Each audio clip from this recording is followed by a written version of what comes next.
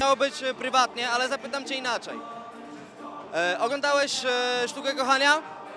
Nawet dzisiaj byłem w kinie na Sztuce Kochania. Dwa razy już. I zapytam cię tak, jako aktora, jak się patrzy na aktora, który gra ciałem, bo jest dużo scen seksu, e, grałeś w scenach takich typowo rozbieranych jak Magdalena Boczarska w Sztuce Kochania? Tak, wielokrotnie już grałem w podobnych scenach, więc e, wiem jak wygląda taka sytuacja na planie, wiem jak, e, jak to jest trudne dla aktorów, jak to trudno sfotografować i jak trudno zrobić, żeby to wyglądało tak fajnie jak w filmie Sztuka Kochania.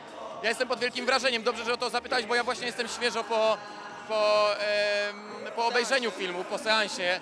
Byłem dzisiaj w kinie, obejrzałem ten film po raz drugi, na spokojnie chciałem sobie bez tego całego szumu e, premierowego.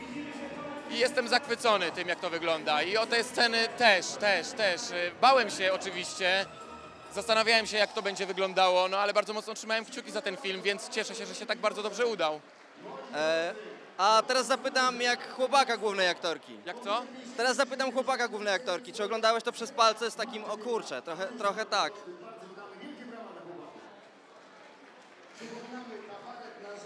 Dobra, jak się ogląda, jak się ogląda bliską sobie kobietę w scenach seksu? No poczekaj, myślę na ten temat. Nie, bo y, rzeczywiście to pytanie się pojawiało i mm, dzisiaj w pewnym momencie, jak oglądałem, to miałem wrażenie, że już miałem tego dosyć dużo. Po prostu czułem, że jest dużo tych scen. E, więc w pewnym momencie poczułem się odrobinę zazdrosny, ale po chwili wrócił rozsądek i wiem, że jak się nagrywa takie sceny, to trudno o jakąkolwiek intymność, bo jest mnóstwo osób naokoło. To tak jak tutaj wyobraź sobie w tej sytuacji, w której jesteśmy, byśmy się mieli rozebrać i nagle zacząć się całować na słowo akcja. No to jest trudne, człowiek nie działa na on-off, Akcja. ale ciągle jesteś w ubraniu, nie liczy się. Ale oni dużo trenowali. Zresztą tak mówił e, sam reżyser i produkcja, że mieli bardzo dobrze przetrenowane te sceny. Tak, ale jeśli chodzi o sceny łóżkowe, to ich się nie trenuje bez ubrania i No wiem, głównie się na ten temat rozmawia.